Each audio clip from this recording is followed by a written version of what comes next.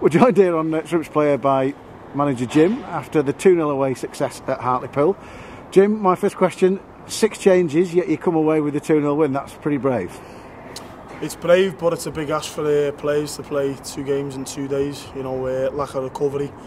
You know, can you expect a, a 39 year old player coach who's put a lot of hard work in, in the previous game to, to come back out?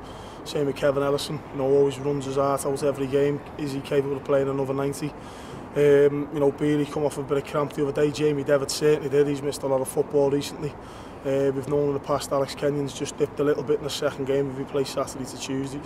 And the only other one's Podrick Hammond. He's quite, um, you know, he might have been able to go, but I just thought Mullen and uh, Redshaw chomping at the bit. Uh, and as it was, it worked well. I think, um, you know, Jack's got the two goals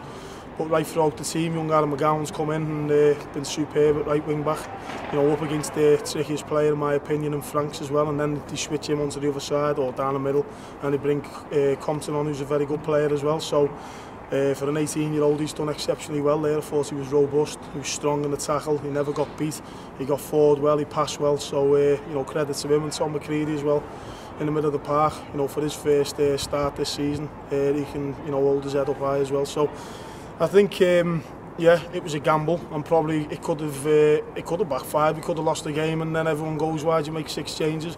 I've always said I'm not always going to get it right, you know, but I did made the changes for the right reasons. You know, two games in less than 48 hours early when you look at the kick-off time uh, and the finishing time of the previous game. Uh, and you've got to have trust in your squad. You know, those lads are on the bench over the festive period there. They were looking at it thinking I'd love to get a game and, and get on and show what I can do. We've just lost two on the spin, 1-0. Um, I'm pretty pleased with the performances, but it's just that final little bit um, you know, to get, get our wins. Um, the other thing is, if you don't win them, you, you try and draw them. And, you know, that for me, we haven't drawn enough games when we should have this season. Carlisle being one of them the other day. But uh, as you say, we made the changes. We've come up trumps. We were quite solid. Um, I thought, you know, some of our play to start with was excellent. Um, a couple of good, decent chances. They've had one or two. I think Scott's made two saves in the first half. Their keeper's made a couple. Uh, second half, you know, warned them what was going to happen. Uh, the report from the game against Mansfield at the weekend was that they were pretty poor uh, in the first half, but they come out, you know, all guns firing in the second half and got a deserved draw and maybe could have gone on and won it. So, you know, we warned the lads about that, but for one reason or another, you know, we dropped deep. Whether it's a psychological psychological effect of what happened there last season, But I don't think Scott Davis made a save second half. They had all the momentum, the crowd got behind them. You know, they had a right good goal for the manager, but, um, you know, really didn't threaten us.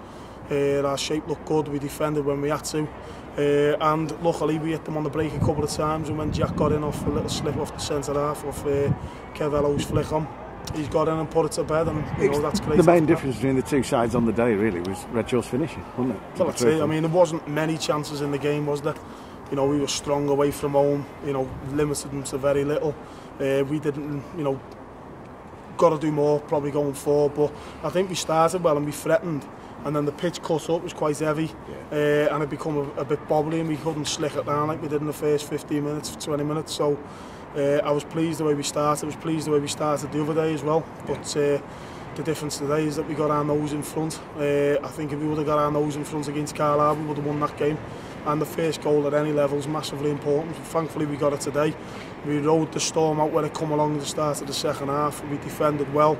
A uh, little bit more decision making's got to be better. But you know, again, there's quite a few changes in there and yeah. you know a little bit of inexperience, but uh, no credit where credit's due, they were exceptional today. You know, great hard in you know, two 0 win away from home, clean sheet. I know Hartlepool are at the bottom of the league, but, you know, they were a Division one club not so long ago. They've got good players, they've got a new manager, they've got that momentum. Yeah. They've taken two draws recently, so we knew it was going to be a tough game. As I said, the psychological effect of last season plays a part, certainly when you're 1-0 yeah. up. Um, but as it was, we, we rolled it out and we got the uh, all-important second goal, which uh, put the game to bed, so absolutely made up. So there's uh, given that you were you were uh, you've gambled and made the changes, there were some good performances out there. So you've got a bit of a headache for the new year new year game against Stevenage. Yeah, but again, two games in two days probably come a little bit too much for Lawrence Wilson. I'll be honest, I've had a left wing back who could maybe go in because in that formation, Wilson and Bealey probably do the most running. Yeah. As I say, Bealey come off against Carlisle the other day and couldn't hardly walk.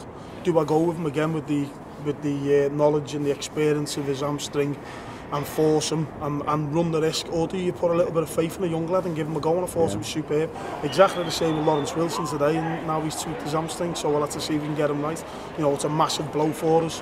Uh, as I said, if I had someone to come in there, might have even changed that one because he got through an awful lot of running against Carlisle. But no, everyone's there, stick the claim today.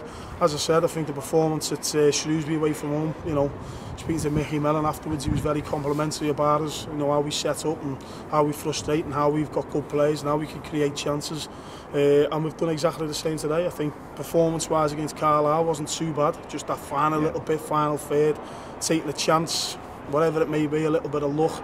Um, you know, could have could have easily won that game as well. So it's football. There's ups and downs, but we've got to enjoy the ride, stick together like you always say. And uh, come the next game against Stevenage, we're positive. We'll have the momentum off the back of this game. There's, you know, there's places up for grabs. and uh, we'll see what happens over the next few days and then we'll start getting prepared for that one and hopefully back this good win up with another one at home in front of our own home supporters and start the new year in good fashion. Well, yeah, it's a good way to end the old year and seeing the new with a win, Jim. So happy new year to that and uh, carry it on against Stevenage. Thanks for talking to me. Cheers, Dave.